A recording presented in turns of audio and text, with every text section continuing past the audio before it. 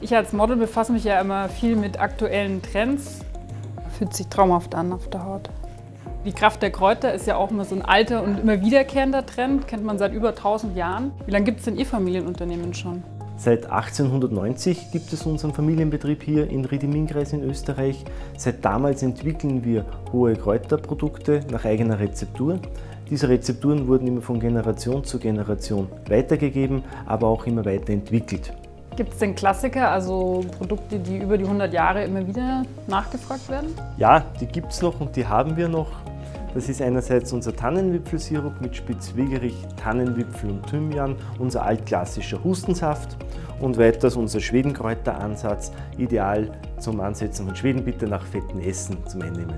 Der Sommer kommt ja jetzt. Äh, was kann ich da meiner Haut Gutes tun mit Ihren Produkten? Unser ideales Sommerprodukt ist unser Aloe Vera Gel mit 97% reinem Blattsaft.